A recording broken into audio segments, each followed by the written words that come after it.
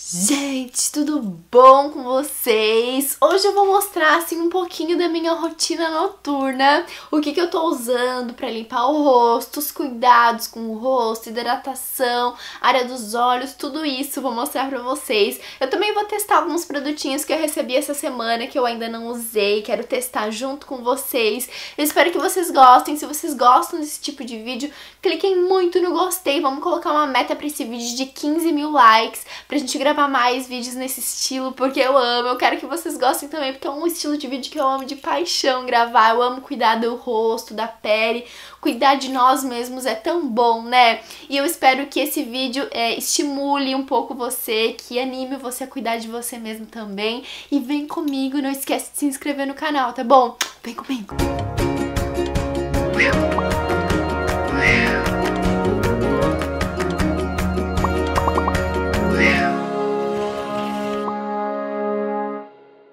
Vamos lá começar então. Hoje eu vou usar um demaquilante diferente. É a primeira vez que eu tô usando esse daqui da Make Me Boticário. Ele é 4 em 1, remoção de maquiagem à prova d'água, vitaminas, hidratação suave e oil free. Vamos lá testar.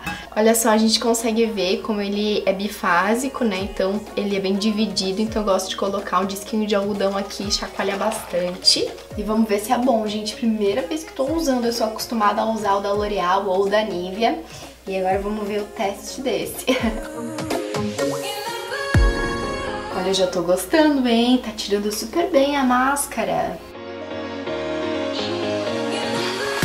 Aqui na parte dos olhos eu sempre tomo bastante cuidado, porque os cílios são muito sensíveis e é muito fácil a gente perder cílios, né?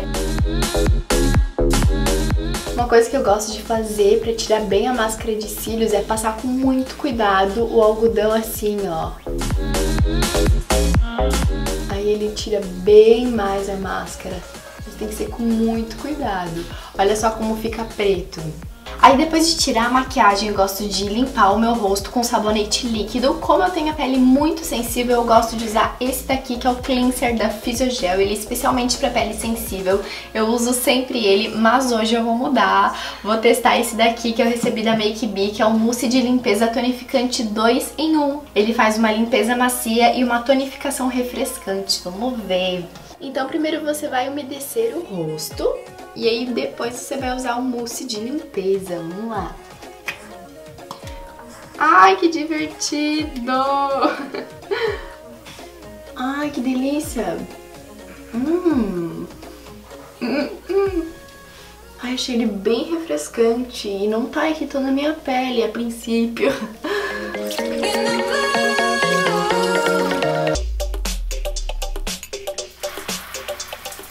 banho eu sempre gosto de usar um sabonete líquido ou em barra, tanto faz. Hoje eu tô usando esse da Palmolive, que é um lançamento que eu recebi esses dias. E eu também sempre uso um sabonete íntimo, esse também eu recebi há um tempinho atrás da Dermacide, eu sempre uso. Banho tomado. Não levem um susto, gente. Eu tô um pouco vermelha por causa da água quente. Como eu tenho um pouquinho de rosácea, então eu fico assim um pouquinho vermelhinha. Mas vamos para os cuidados pós-banho. Primeira coisa, desodorante, né?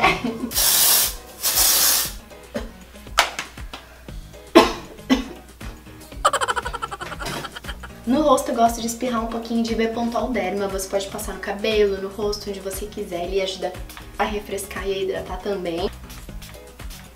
Aí eu deixo secar assim naturalmente.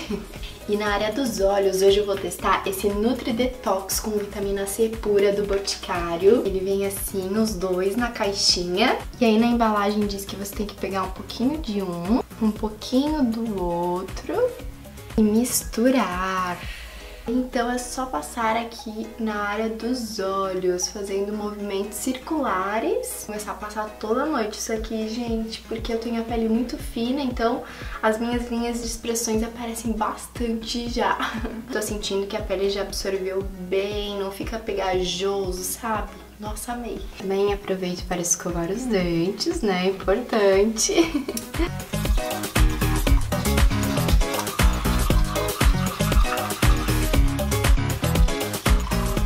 E à noite é um momento ideal para você passar aqueles cremes clareadores, então aproveite a hora do soninho para passar. Eu tô passando esse Vitacid Plus que foi recomendado pela minha dermatologista, então não use nada disso sem recomendação de um dermato, tá? Porque você não sabe se a sua pele vai se adaptar bem, se é indicado para sua pele, né? Então eu vou passar um pouquinho.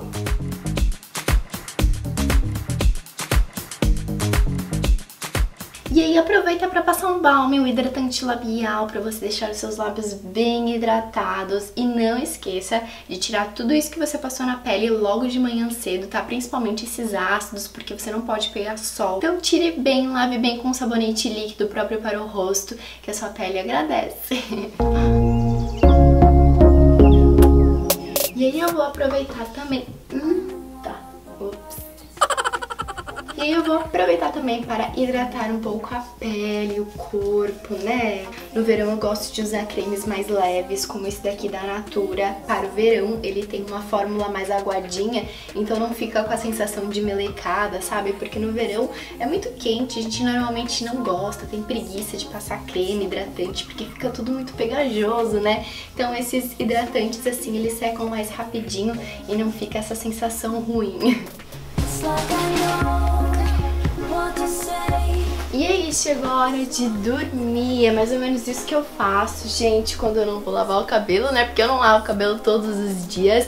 Eu espero que vocês tenham gostado, que eu tenha inspirado vocês a cuidar um pouquinho mais de si, né. Não esqueçam que tá rolando sorteio aqui no canal, tá? Eu vou deixar o link do vídeo onde eu explico tudo sobre o sorteio aqui embaixo no box de informações e nos comentários. Não esqueça de passar lá que eu tô te esperando.